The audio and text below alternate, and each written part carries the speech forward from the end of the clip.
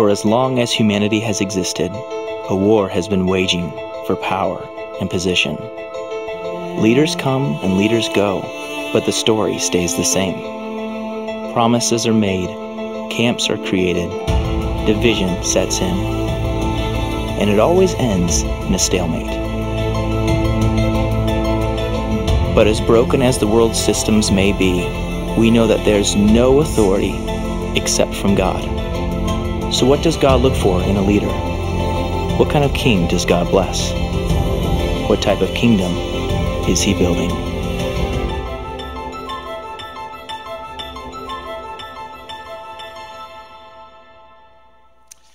Well, once again, welcome to church. My name is Grant. I'm so glad that you're with us. If at the end of the service you need prayer for anything, and there's lots to pray about these days, if you need prayer for anything, our prayer team will be up here across the front. We would love to pray with you. So I said it last week, and I'm going to say it again. If you are an authentic follower of Jesus Christ, you have a king.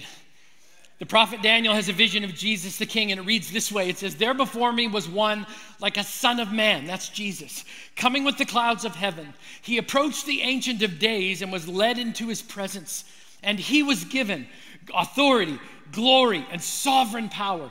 All nations and peoples of every language worshiped him. His dominion is an everlasting dominion that will not pass away, and his kingdom is one that will never, ever be destroyed. If you know that Jesus, you have a king.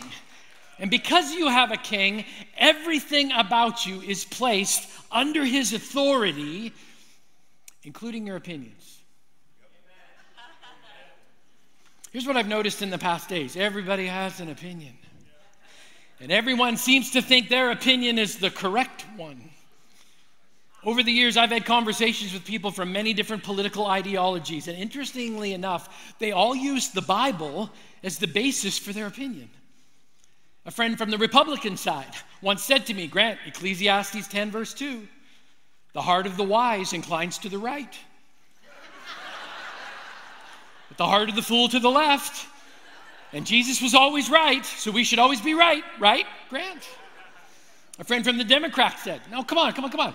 Jesus was all about free health care. Like, just read the Bible. He was healing everybody all the time. Just do the math. A friend who's a libertarian quoted the famous verse, and you shall know the truth, and the truth shall set you free. He said Jesus was anti establishment, and he was more about freedom and liberty than anyone before in human history.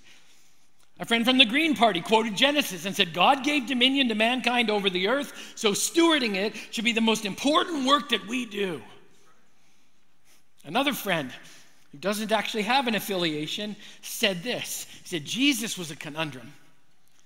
When it came to the justice that my sin deserved, he was more conservative than the greatest conservative.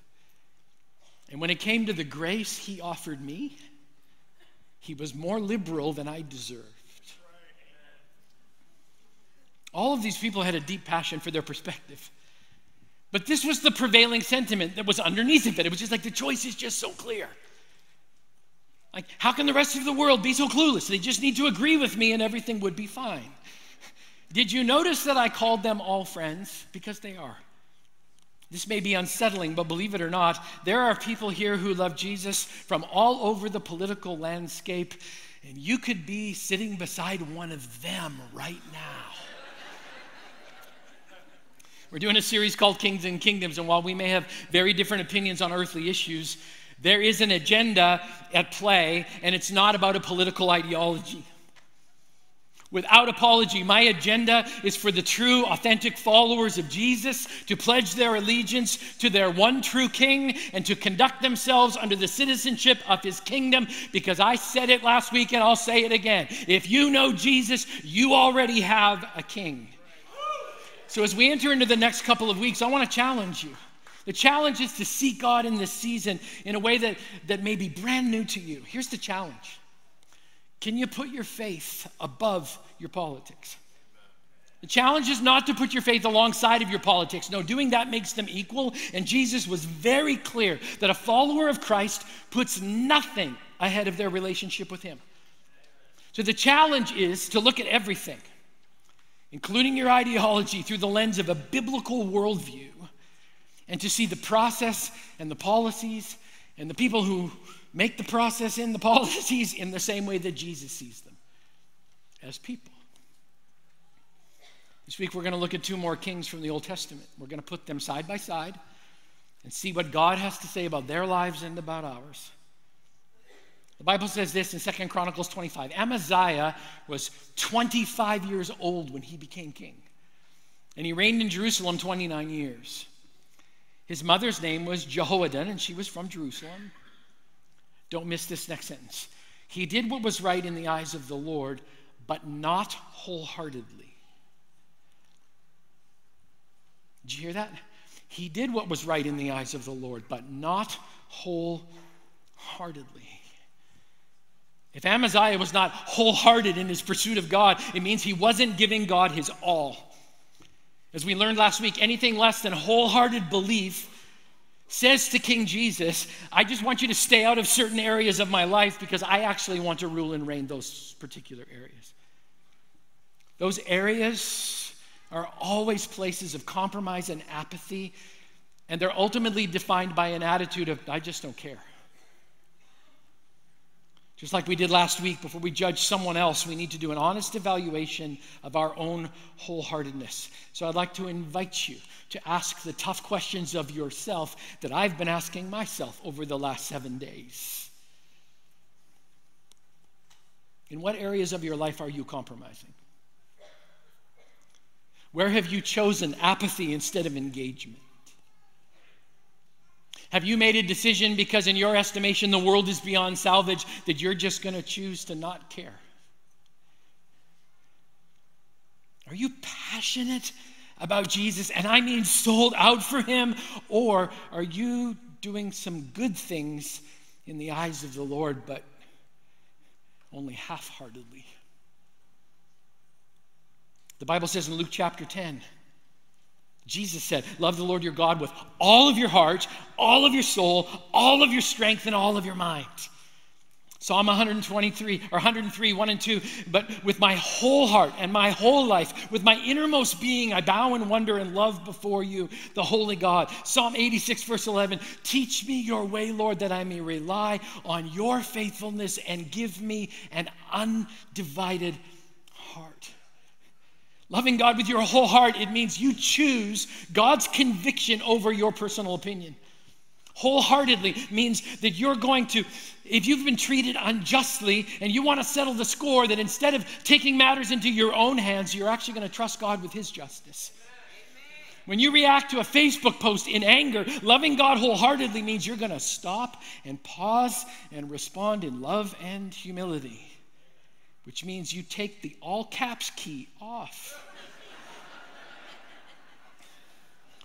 Loving God is when you see those other long signs.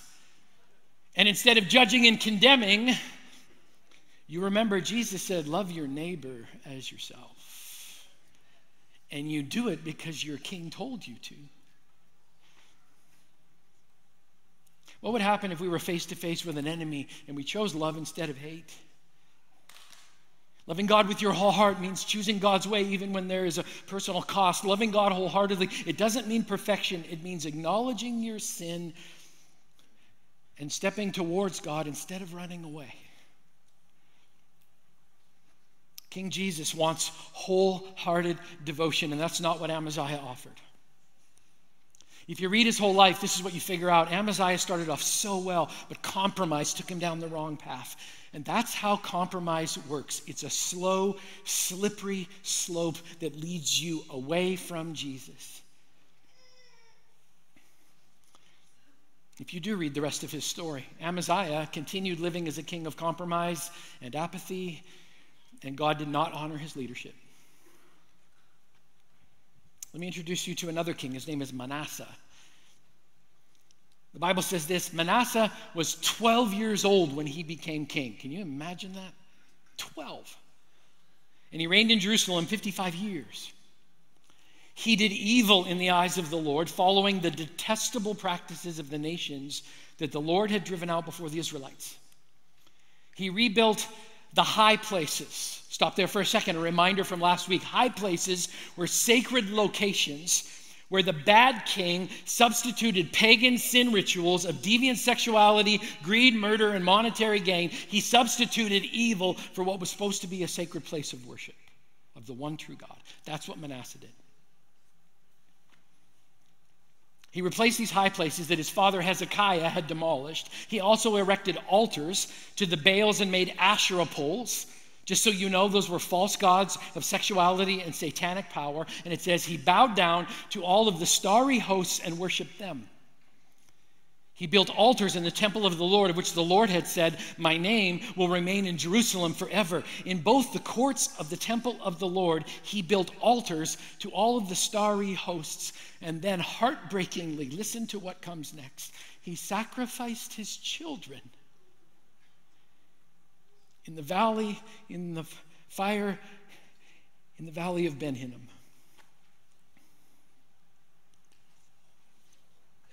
Let's just stop there for a second. A few months after the Supreme Court overturned Roe v. Wade, I was in a coffee shop. And two young college students walked up to me, two guys, and they had two questions. The first question was Are you Pastor Grant? Kind of wanted to say, no, my name's Bob Marvel. That's kind of what I wanted to say. Um, the second question was this Why are Christians so obsessed with abortion laws?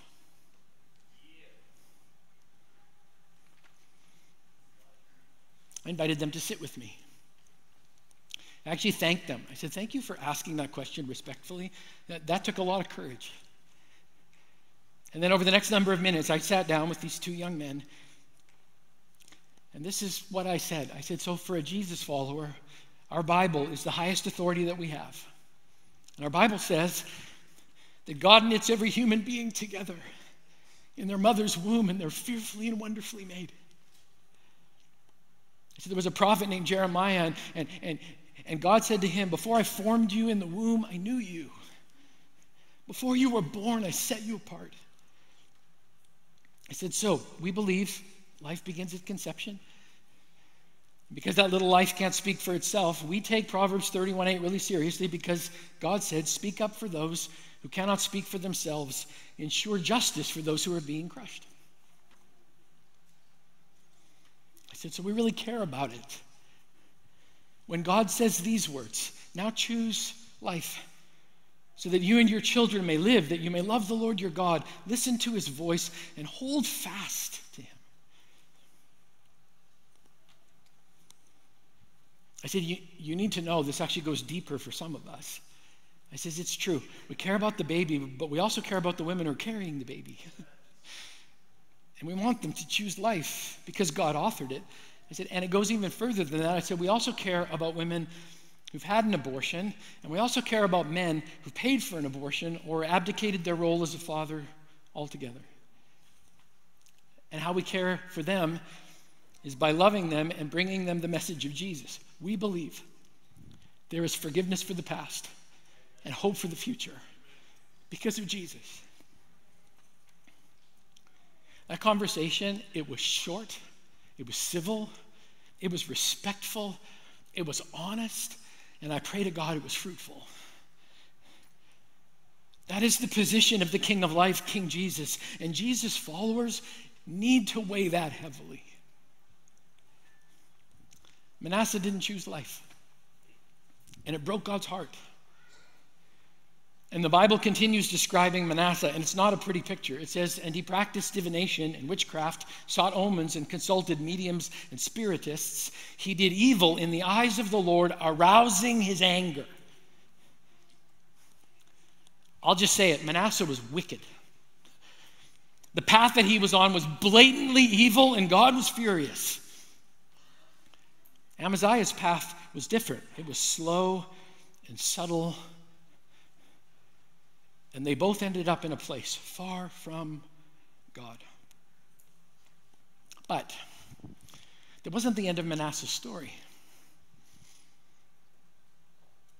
In verse 10 of Second Chronicles 33, it says this The Lord spoke to Manasseh and his people, but they paid no attention. So the Lord brought against them the army commanders of the king of Assyria, who took Manasseh prisoner put a hook in his nose, bound him with bronze shackles, and took him to Babylon. Last week, I made a statement and it struck a chord with people. When people decide to operate far from God and go their own way, when they put their opinion over His direction, there's an inevitable outcome. You end up in a place of distress and desperation. That's where you end up. The Bible says this about Manasseh. So, after he has done all of this evil, here's what happens it's amazing. And it's such a testimony to the grace and patience of God. It says, In his distress, Manasseh's distress, he sought the favor of the Lord his God and humbled himself greatly before the God of his ancestors. He comes full circle. And when he prayed to him, the Lord was moved by his entreaty and listened to his plea. So he, being God, brought him back to Jerusalem and to his kingdom. Then Manasseh knew that the Lord is God. What a story! Did you see that? The king humbled himself greatly.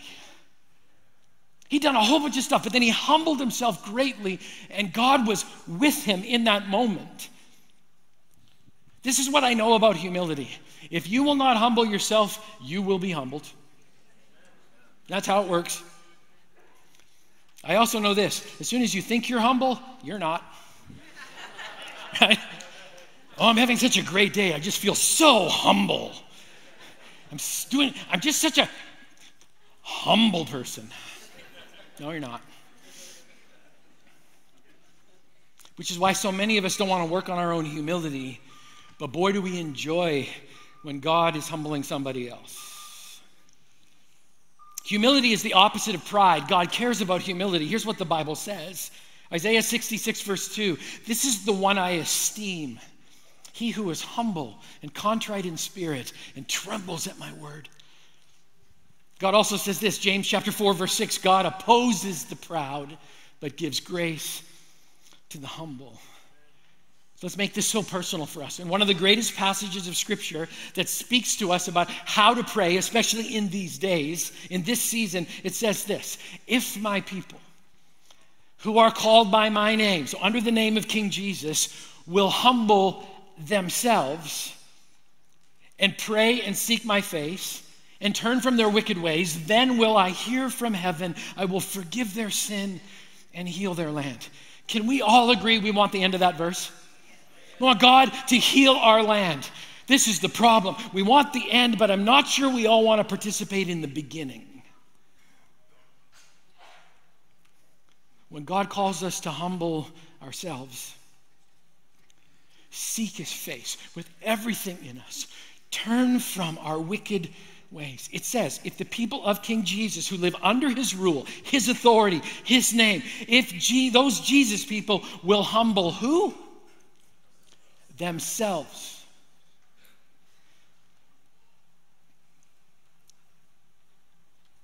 My spiritual family. When was the last time you truly humbled yourself before God? When was the last time you came to Him and say, Jesus, I have a confession. I kind of like being my own king. When was the last time you came to Him, stated the obvious, repented, and then turned away from your compromise and your apathy? When was the last time you willingly humbled yourself and in authentic, authenticity and vulnerability came to someone that you had hurt and said these words I was wrong?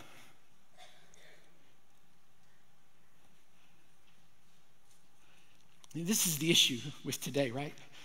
When we refuse to humble ourselves and own our own wrong, when we believe that we are just so right and our pride gets in the way, when we think we're fine just on our own, in that moment, we're just not desperate for God anymore. A while ago, I had the honor and the privilege of doing a memorial for a, a Nooksack brother who changed a lot of lives by helping people overcome addiction and choose a path of wholeness and recovery. He was a Jesus guy, and I loved him. He passed away, and a group of us gathered together to honor his influence and his legacy. We came together to mourn our friend. As the memorial ended, a Nooksack brother and a Lummi brother actually called me to come down and stand in front of everybody, and I didn't know what was going on. I was a little bit uncomfortable. And they wrapped this blanket.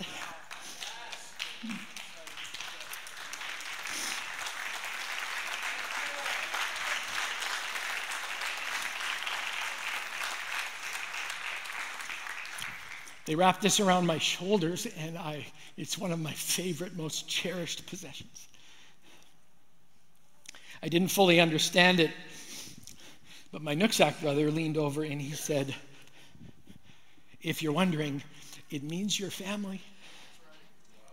It's your family. He's also a bit of a character, so he leaned into my ear again and he said, And with a name like Fishbook, we're not even going to have to change it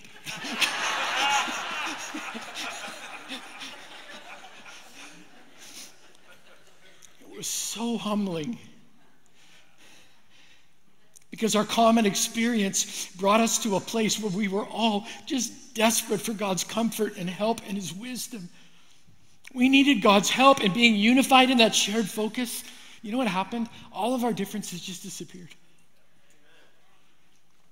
We all just needed Jesus. Humility and our desperate need for God actually brought us together. Manasseh had a bad history, but there was a moment when he cried out to God in humility, and God answered him. I'm amazed at the number of times in the Old Testament where it says a leader inquired of the Lord or cried out to God for help and wisdom. What were they asking for? They were asking, God, can you make my way clear? I don't know exactly which way to go. So some of you are in a tension point right now. There's a tension point. I've been feeling it all morning. Last weekend in our comments, I heard people say things. It's just like, I just don't know what to do. I don't feel like I can align myself with the lack of humility on this side of the political spectrum. I don't feel like I can align myself with the lack of conviction on the other side of the spectrum. And, and so I feel like I'm going to have to choose between the lesser of two evils, and I just don't want to be a part of evil at all. And this was the conclusion. They said, I think I'm going to do nothing.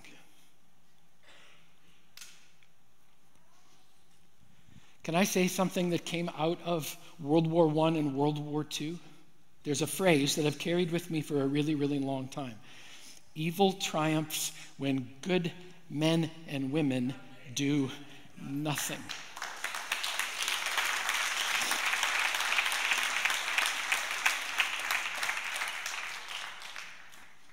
It's not an option. And here's the good news Jesus offers help to all of us. The Bible says, if any of you lacks wisdom, you should ask God, who gives generously without finding fault. He's not going to judge you. And it will be given to you. That's the promise of God. That's James chapter 1 verse 5. This is how it works. So we start with knowledge. We ask God for human knowledge so that our minds are pure and fixed on the convictions of God and his kingdom. That happens in our mind. And then the knowledge moves down into our heart. I believe that the distance between mind and heart, this is the longest distance in the universe. Because a lot of us have a lot of head knowledge, but until it becomes heart knowledge, it can't actually transform. Knowledge is transformed into understanding. Understanding happens when we know what has become rooted in our heart is wholeheartedly devoted to Jesus. And when understanding is aligned with King Jesus, then it becomes wisdom. Knowledge, understanding, and then wisdom. When understanding becomes wisdom, it's heard in our words and it's seen in our actions. And the beautiful thing is that when godly wisdom is present, the only agenda that makes itself known is the pure agenda and the gracious heart of your King. Listen to this description of heavenly wisdom from the book of James. But the wisdom that comes from heaven is first of all pure, then peace loving, considerate, submissive, full of mercy and good fruit impartial and sincere. So, to my spiritual family, my brothers and my sisters, in these days, ask God for supernatural knowledge from the Word of God that's internalized into true understanding of God's heart and His conviction that can then flow out in wisdom that can actually transform your world.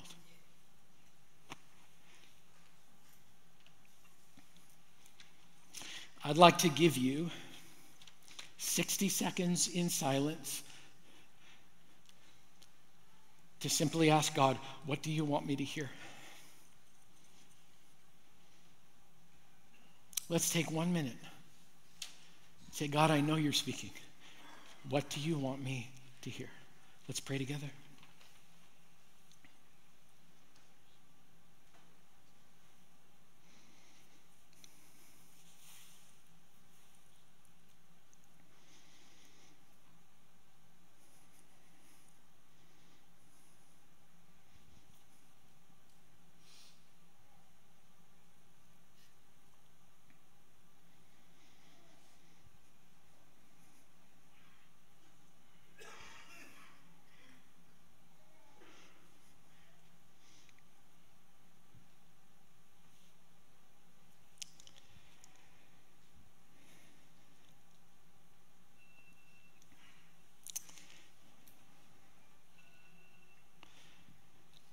Father God, knowledge, understanding, and wisdom. This is our prayer. In Jesus' name, amen. Church, would you stand with me? As I close today, just as I did last week, this is my prayer for you, and it's not my words. It comes right out of Ephesians chapter 1. I keep asking that the God of our Lord Jesus Christ, the glorious Father, may give you a spirit of wisdom and revelation so that you may know him better. I pray that the eyes of your heart may be enlightened in order that you may know the hope to which he has called you, the riches of his glorious inheritance in his holy people, and his incomparably great power for us who believe. That power is the same as the mighty strength he exerted when he raised Christ from the dead and seated him at the right hand in the heavenly realms, far above all rule and authority, power and dominion, and every name that is invoked, not only in the present age, but also in the one to come. That, my friends, is your King. Have a great week. You're dismissed.